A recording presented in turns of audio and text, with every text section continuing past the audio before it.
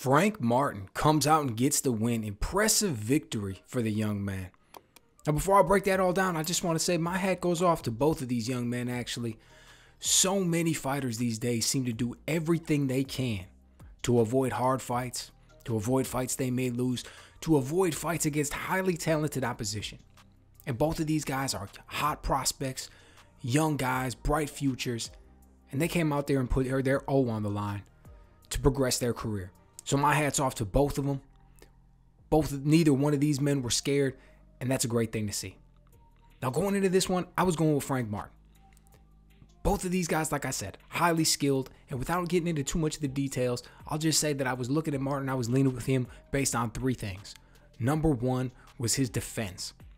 His his his style, his technique, everything is just a little bit tighter. He's just a little bit more defensively responsible. He doesn't just rely on his offense to shut down the other guy's offense, right? He doesn't just rely on his offense to beat his defense.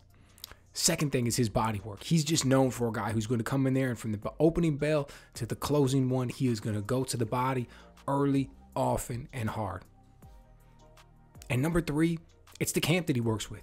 He's in there, he's training with Derrick James, who is do, turning out some phenomenal work lately. He's in there with Errol Spence Jr., he's in there with Jermell Charlo. Iron sharpen iron, and when you're around guys that are that good, when you're, I'm sure the um the, the quality of the sparring that they're bringing in is top notch. It's gonna rub off. Just think about it from this perspective as well. I'm I'm sure a man like Derrick James has a lot of people who want to train with him.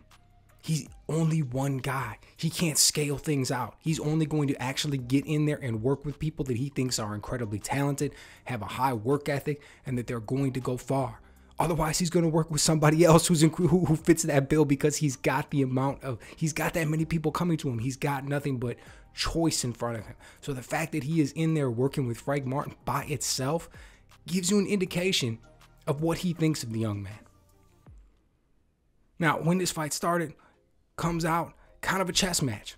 Both men are kind of feeling each other out, but the second round was telling. I thought the second round had the ability to really be a turning point. Frank Martin started to open up, started to land a little bit of combinations, started to step in behind that one, two, started to land some hard shots. He was stepping past Rivera, getting angles, turning him a little bit. He was nullifying Rivera's jab. Everything was starting to click for him. Everything was really starting to make sense. And I was like, this could be it.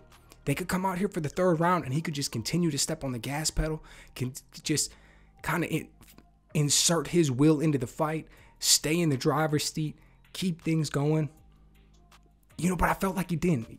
Yes, I gave him the third round. Yes, he won it, but I don't know. For whatever reason, I'd have to go back and watch it and really break it down. But for whatever reason, I just remember feeling like he let Rivera off the hook, so to speak. He he he let him back into the fight. And, and it wasn't that the second round was so drastic. It wasn't like he he had him hurt, he had him wobbled, he dropped him or anything like that. But there's just those little things in the fight where when you're really paying attention, you get you get that feeling that one man steps up and takes control. And I felt like the second round had that. It was that point in time where it was there for Martin to possibly do it, and I felt like he didn't. Cool, no big deal, but just something that I took note of because of the fact that we're dealing with young guys, we're dealing with a step up fight, we're dealing with a situation where each man was facing his highest level of competition. Now, that being said, they step into the fourth and fifth rounds. I thought they were some really close rounds. I actually gave them to Rivera.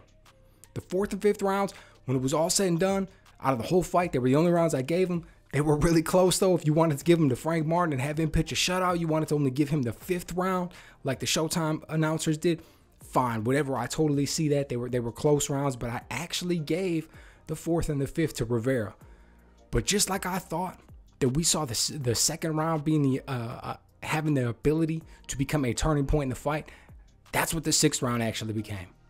You know, it, it, it took Derrick James in between rounds in the corner. You heard him talking to Frank Martin. Why aren't you doing things? Why aren't you doing this? Why aren't you doing that? These are things that we trained for. You know what this guy's going to do. He's doing exactly what we expected him to do.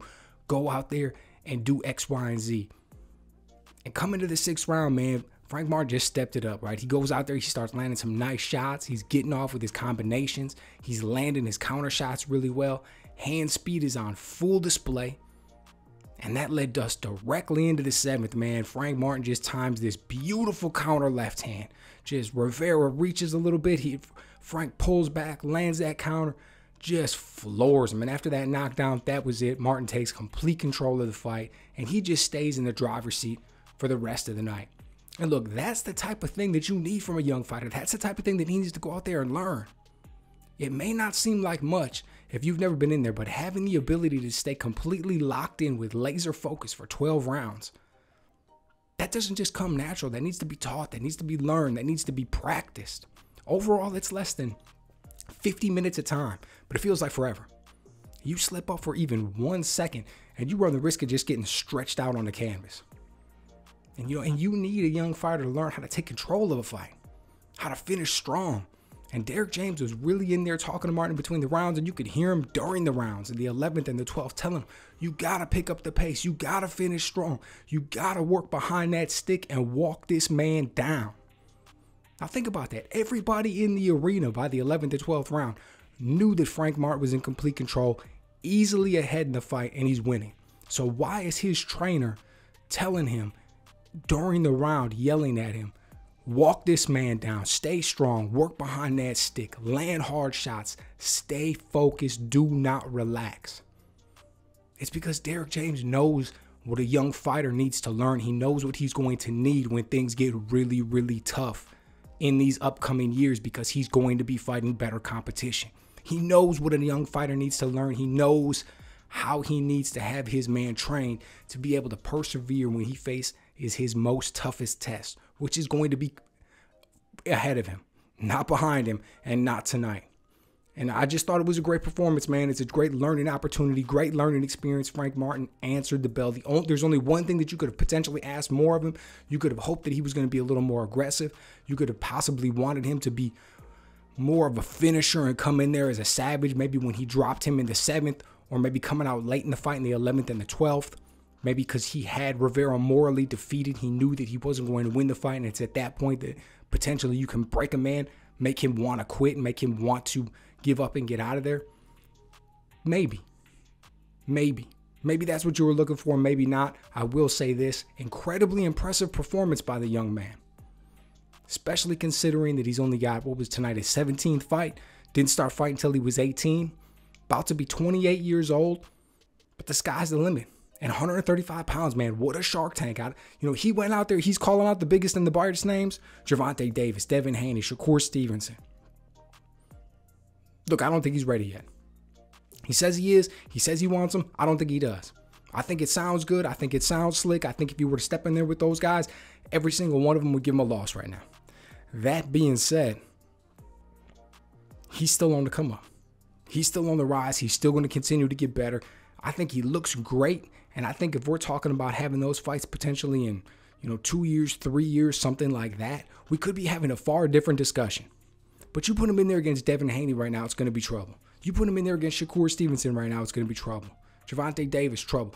Now, I'll tell you what, he said Rolly, Rolly Romero was in the stands. He said Rolly Romero was watching and that he could get him up with him. And that's a far different fight. Rolly Romero isn't the most technical fighter. He's big, he's strong, he hits really hard. Yeah, he does all those things. He's got some good timing on that counter shot. But is he going to be able to handle that jab? Is he going to be able? To, how's he going to handle that southpaw? We just saw him in there against Tank Davis, and he got stretched. And I'm not saying that Frank Martin is is a Tank Davis, but I am saying that that's a fight that would be very interesting. that's a fight that I would be looking forward to if they were making it. So let me know what you guys think. Were you as impressed with Frank Martin as I was tonight? What do you think is going to be next for him? 135 pounds, got a lot of opportunity, very top heavy. We could even see a guy like Kambosos, who at this point I don't put him up there amongst the best of the best after these last two outings against Devin Haney. Nevertheless, I think the worst you can say about Kambosos is that he's a gatekeeper. Impressive gatekeeper. Is he should he be next for Frank Martin? Are we talking about making a step up like that? Again, very interesting fight. So let me know what you guys think.